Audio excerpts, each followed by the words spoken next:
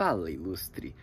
Eu digo para você desapegar sobre a qualidade de imagem e de som desse vídeo porque hoje o tema não é qualidade de vídeo e sim consistência. E se esse vídeo está subindo no canal no dia 10 de agosto de 2020, ele é uma prova viva disso.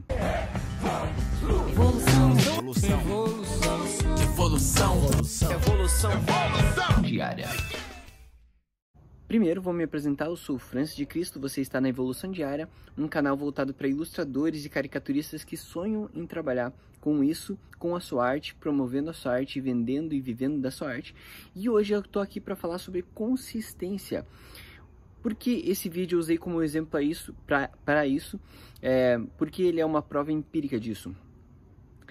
É, já é certo que nas mídias sociais, nas redes sociais, você tem acaba tendo mais relevância perante o veículo quando você tem consistência, mesmo que às vezes você não tenha qualidade em algum específico material que você está postando ali, para uh, as redes sociais o que mais importa é a consistência e também a relevância, ou seja, a interação que você tem com seu público dentro dos assuntos que você aborda, tá?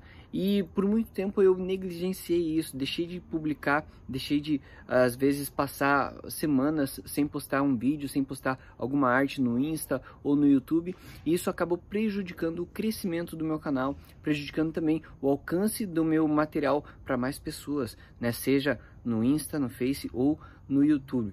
E aí, o que que acontece? A partir do momento que você é, tem isso em mente, que você precisa ter essa consistência e você foca nisso, você acaba é, se virando nos 30 para você postar isso todas as semanas, todos os dias, é, com a frequência que você determinou para o seu canal, para o seu veículo de comunicação. E aí as, as mídias sociais vão te ajudando a promover esse, esse teu conteúdo porque vai entendendo qual que é a frequência é, e também o seu público vai ficando educado com relação a quando você vai postar, que horas você vai postar e enfim, isso vai ajudar muito no crescimento. Uma coisa é certa, muitas vezes essa questão de manter o ritmo e forçar que a frequência aconteça pode ser que ela prejudique a qualidade né, daquilo que você está fazendo. Às vezes, é, enfim, você vai para um dia de treino lá na academia e naquele dia você não está tão empolgado e o treino não rende tanto, mas quebrar esse dia pode ser que prejudique todo o andamento de todos os dias bons que você veio fazendo antes daquele que não foi tão bom assim, tá? Então, às vezes é, é preferível que você fa é, faça um dia às vezes não tão bem feito do que faltar aquele dia e aí quebra o ritmo, quebra a sequência. Eu estou participando agora, junto com meus alunos do curso Evolua na Carica, de um desafio chamado 60 Dias Caricatos, onde por 60 dias a gente tem uma missão diária de publicar alguma. É, tem, tem lá já pré-definido né, as, as missões diárias, então às vezes é só o nariz de tal pessoa, às vezes é só o olho, às vezes é a silhueta da pessoa e muitas vezes é a caricatura inteira. E muitas vezes tem dias que a gente não se organizou direito e acaba fazendo meio que nas coxas, fazendo meio que de um jeito mais relaxado é, aquele desenho.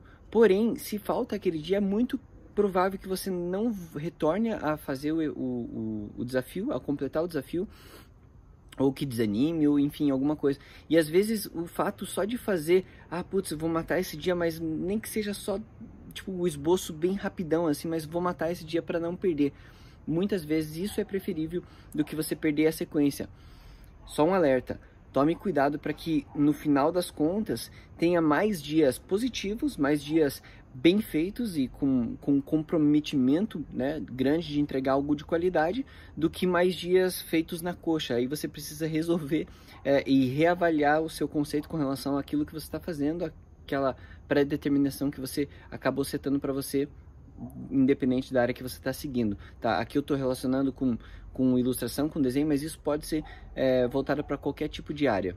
Isso também serve não só para questão de mídias sociais e tudo mais, mas para o nosso crescimento também como artistas. Né? Muitas vezes a gente deixa de, de praticar, deixa de estudar é, numa semana, é, e isso acaba prejudicando muito o andamento das coisas, porque quando a gente fica um bom tempo sem desenhar, imagine que você fique, sei lá, umas duas semanas sem desenhar, um mês sem desenhar, a, a, sensação quando você volta é que você está um pouco enferrujado. Eu, eu, imagino que você tem essa sensação, você, já passou por isso alguma vez e você se identifica com isso. Você fica um pouco enferrujado. E aí, para voltar ao ritmo que você estava de estudo antes, leva um tempo. Isso, então, está muito relacionado à questão da frequência né, de estudos e, e também para você não perder o ritmo. É, é que nem quando você entra numa academia, alguma coisa assim, um curso de inglês, ou, enfim, coisas que você meio que já tem determinado, ou dieta também, né?